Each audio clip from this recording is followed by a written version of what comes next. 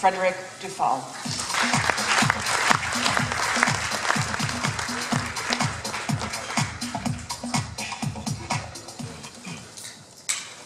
Good morning, everybody.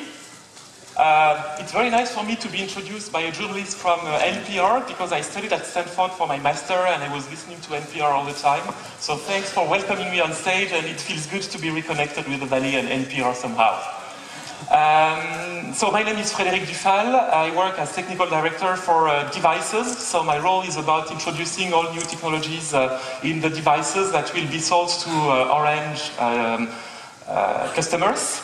And uh, my objective today is to explain to you why we support HTML5 and Tizen, not exclusively but very intensely, why, uh, who is Orange, and how you can have an opportunity to uh, leverage Tizen and uh, build great applications for our customers. Uh, we're focused on Europe and Middle East and Africa for most of our operations.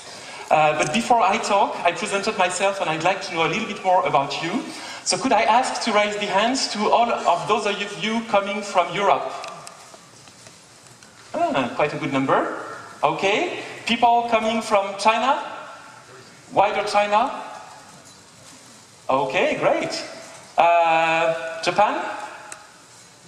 Hmm, interesting diversity. Korea? Okay. California?